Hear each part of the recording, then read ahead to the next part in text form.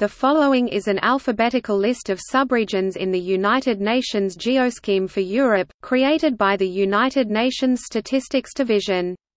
The scheme subdivides the continent into Eastern Europe, Northern Europe, Southern Europe, and Western Europe.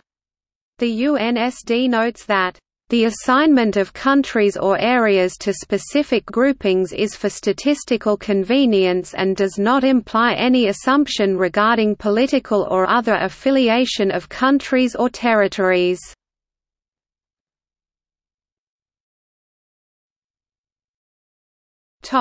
Eastern Europe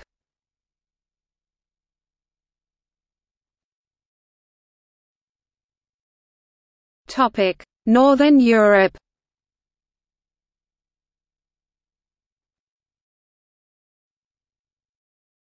Topic: Southern Europe.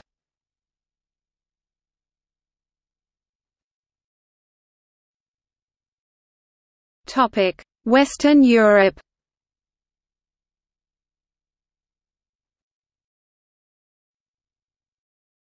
Topic: See also United Nations Statistics Division United Nations Geoscheme United Nations Geoscheme for Africa, the Americas, Asia, and Oceania